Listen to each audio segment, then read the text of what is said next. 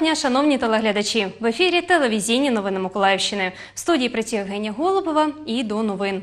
Підняття цін в миколаївських маршрутках та новий автобусний маршрут сполучення мікрорайон Матвіївка, проспект Корабелів. Такі питання обговорили під час засідання виконавчого комітету Миколаївської міської ради. До чого дійшли, бачили і наші кореспонденти. Перевізники та міська влада вже декілька місяців не можуть дійти згоди стосовно вартості проїзду маршрутних таксі.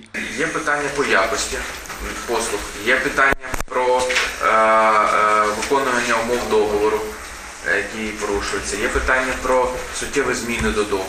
Влада стверджує, що перевізник не виконує і половину зобов'язань, які прописані в договорах про співпрацю. качество автомобилей, которыми перевозятся эти лю- наши горожане, э, никак не улучшается, только ухудшается. Как курили в салоне или на конечных, э, находясь в маршрутке, так и курят. Как слушали шансончик, так и слушают. Перевізник виставляє свої умови дистанційно. На запрошення на сесію міської ради та на засідання виконкому вони не відреагували. До вашого розгляду пропонується призначене рішення е, згідно з пропозиціями перевізників, наданими їхніми розрахунками та висновками е, відділу цін, встановлена необхідність підвищення тарифу до 5 гривень. Даним рішенням це закріплюється, е, всі розрахунки надані. Члени виконкому вирішили, що наданих перевізником аргументів недостатньо для підняття цін за проїзд. Спершу влада обчислить пасажиропотік кожного маршруту, а вже потім буде приймати рішення. Против один, воздержался один, все остальные за. Данный вопрос отправляем на доработку для дальнейшего пересмотра. Також обговорили новий маршрут номер 99, який ухвалили з внесенням правок. Вже скоро 12 автобусів типу наземне метро будуть курсувати між Матвіївкою та проспектом Корабелів. З кінцевими зупинками поки що не визначились. Олександр Гордієнко, Богдан Іванов, телевізійні новини Миколаївщини. Ситуація в зоні проведення антитерористичної операції залишається напруженою. Бойовики продовжують застосовувати заборонену мінськими угодами зброю та 29 разів порушили перемир'я. Про це повідомляє прес-центр штабу АТО. Вночі незаконні збройні формування посилили обстріли по позиціях Збройних сил України на Донецькому та Маріупольському напрямках. Бойовики з гранатометів, кулеметів та стрілецької зброї вели вогонь по Водяному, Павлополю, Широкиному та Гнутовому. У цей же час злочинці з 82-мм мінометів били по Новомихайлівці. Крім того, з 9 і до 10 вечора наші опорні пункти поблизу Мар'янки обстрілювали з озброєння БМП, гранатометів та мінометів. Внаслідок цих вогневих провокацій двоє українських військових отримали осколкові поранення. На Приморському напрямку незаконні збройні формування окремих районів Донецької області двічі за день обстріляли житловий сектор Мар'їнки. Під час обстрілу позицій сил АТО під вогонь бойовиків вчергове потрапили житлові квартали цього прифронтового населеного пункту. Ну, Война ж уже ну, привыкли. Это ну, пи- первый день, второй, когда война начиналась, и было страшно. Уже привыкли. Зброєння БМП, зенітної установки, гранатометів та крупнокаліберних кулеметів загорілися будівлі. Ще кілька зазнали руйнувань. На щастя, ніхто з місцевих мешканців не постраждав. Однак один військовослужбовець отримав поранення. Гаряче наприкінці минулої доби було і поблизу Авдіївки, що на Донецькому напрямку. Тут, починаючи з 21-ї години і майже до 23-ї, бандформування зі сторони Спартака, Ясинуватої, Мінерального п'ять разів відкривали вогонь з мінометів, гранатометів, великокаліберних кулеметів та стрілецької зброї по наших захисниках. Також обстріл наших позицій зафіксований в районі шахти Бутівка. Євгенія Голубова, телевізійні новини Миколаївщини. Миколаївщина увійшла до четвірки областей, де видали найбільшу кількість ділянок для учасників АТО. Про це звітує і влада на місцях. На відміну від чиновників, від чиновників у військовослужбовців оптимізму менше. Чому так? Дивіться далі. Роман Бойко, заступник голови громадської організації Асоціація інвалідів та учасників АТО, потрапив до війська під час першої хвилі мобілізації в 2014-2015 роках. Майже рік боронив землю на сході України. Колишнього військового інформація про кількість виданої землі відверто здивувала. Если касается вот лично меня, то я как только демобилизовался э, в марте 2015 года, я сразу же подал, э, чтобы мне выдали землю, как 2 гектара э, где-то в области, так и в черте города на 12 соток там, или на 10, я уже не помню. И до сих пор э, ни слуху, ни духу я не получил никакого ответа, э, что вопрос решен. Роман вважає, що отримати земельну ділянку без зв'язків майже нереально. Каже, що не знає майже нікого, хто отримав би бодай клаптик землі в порядку звичайної черги. Проте чиновники іншої думки. Родичі тих, хто віддав своє життя за Україну, отримують ділянки позачергово, а бійці, які були поранені, першочергово. На сьогодні діє програма голови облдержадміністрації з цього приводу. Е, Ми відпрацьовуємо по кожній, по кожній особі, по, кожній, ем, по кожному військовослужбовцю, який звернувся сьогодні до нас за можливістю отримати земельну ділянку. На сьогодні вже надано біля 6 тисяч цих земельних ділянок.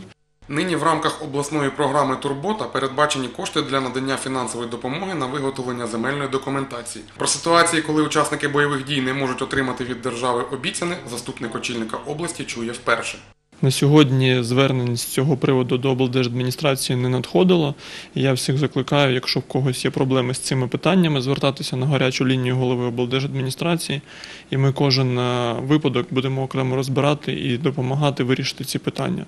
Тим часом облдержадміністрації радять колишнім військовим брати активну участь в процесі оформлення відповідної документації, постійно цікавитись цим питанням. Тоді ситуації, коли хтось не отримав ділянку, буде набагато менше, вважають чиновники. Володимир Степанов, Юрій Руденко, телевізійні новини Миколаївщини. В Україні і на Миколаївщині, зокрема, вперше реалізують програму відпочинку учасників АТО та їх родин. З обласного бюджету вже виділили 2 мільйони 700 тисяч гривень. Про літній відпочинок та його користь далі. Літній відпочинок організували для українських захисників та родин волонтери за підтримки обласної ради. Це п'ять з'їздів тривалістю по 12 днів. На сьогодні 800 осіб вже зареєструвались. Ми робимо все максимально так, щоб людям було зручно. На базі постійно присутній адміністратор від нашої організації, що допомагає людям ну, влаштуватись, спілкуватись. Ми дивимося, щоб не було якихось неприємних ситуацій. Тут на базі відпочинку в Очакові надаються всі необхідні умови для захисників Є і медичне обслуговування. Все розташоване поруч. Чем удобно, потому что э, отдыхающие выходят и сразу могут себе, то есть недалеко ходя, то есть покушать и тут же могут пойти ответ- посмотреть фильм, почитать книги в библиотеке и на площадке детской там, с детьми поиграть, скажем так, отдохнуть. Для самих учасників АТО це перш за все можливість відпочити не лише фізично, а й духовно, так би мовити, від усіх пережитих моментів. Олег Сураєв, учасник АТО, який служив у 2015-2016 роках на сході України, розповідає, останній раз був на морі ще у 2010-му. Приїхав на відпочинок сюди з дружиною. Тут вперше відпочинок дуже приємний. Знаходжуся на відпочинку з супругою, своєю другою половинкою. Як кажуть, удобство, условия, вибачте, на вищому рівні. Також під час відпочинку демобілізовані можуть отримати ще й психологічну допомогу. Валерій Ільчук організовує тут тренінги. Він також є учасником АТО, тож усіма зусиллями намагається надати своїм побратимам психологічну адаптацію. Саме основне, щоб якби розказати, що з ними відбувається, що відбувається з сім'єю Момент, коли вони служать і як переживають рідні, це допомагає їм знайти спільну мову в сім'ї в першу чергу і розібратися з тими проблемами, які в них виникають. Найбільше радіють за своїх чоловіків дружини. Змінами після таких тренінгів, результатами та враженнями діляться із захопленням. Он ради этого тоже поехал, говорит, мне нужно срочно с психологами поговорить. Он поговорил, э, он, он вышел э, от них взбодренный, ему дали много советов. Ми навіть психологічно так ми можемо відволіктися від дітей. Ми можемо побути. ми взяли для себе корисне. Так з нами за- займаються, нам допомагають. А наші діти у безпеці. Тобто, після цього йдеш е, задоволений на море е, під масою вражень. Третій заїзд учасників АТО та родин на відпочинок планується вже наступного тижня. Анна Зінченко, Андрій Заворотній, телевізійні новини Миколаївщини. Вивчати англійську з допомогою квестів і одночасно займатися благодійністю. В дитячому містечку Казка поринути в пригоди запросили учасників англомовного табору Мейскот з усієї України.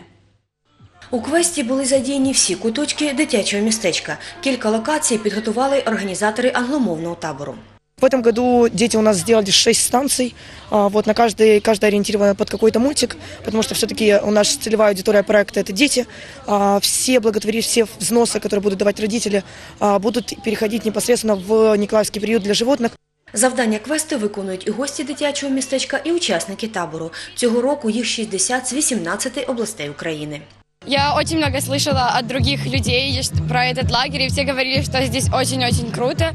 И я уже давно хотела, я очень надеялась, что я здесь попаду, и я ни разу, ни разу об этом не пожалела. Меска для меня это что-то такое особенное. Раньше я никогда не ездила по подобным лагерям, это как бы мой первый раз. И когда я попала сюда, это как будто я попала в другой мир, потому что каждый человек здесь это настолько уникальная личность. Ті, хто минулого року побував в англомовному таборі, повернувся і цьогоріч, але в іншій якості помічника вожатого. Очень рада, что я приехала.